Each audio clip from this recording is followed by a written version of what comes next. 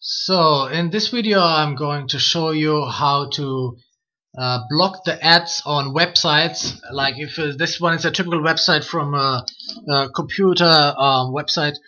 Um, you can see on the right side in orange for example this big ads. You can see in the middle of screen some ads coming up. Um, to block them it's very easy. You just type um, on Google for example ad block and you have ad block AdBlock Plus.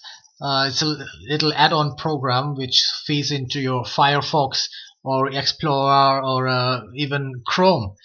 So just for in this case, because I'm using Firefox, um, just go on uh, Firefox, add on Firefox, install it, and that's it. Once install it, uh, the add-on will be just downloaded and so install.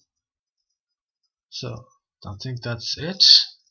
Yeah it's successfully installed and that's it. And now if I go to this website back again and just refresh it